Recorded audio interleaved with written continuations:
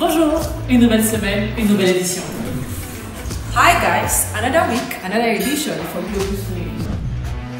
Nous nous retrouvons pour l'actualité de la semaine, le fait international, le conseil et lumière sûre.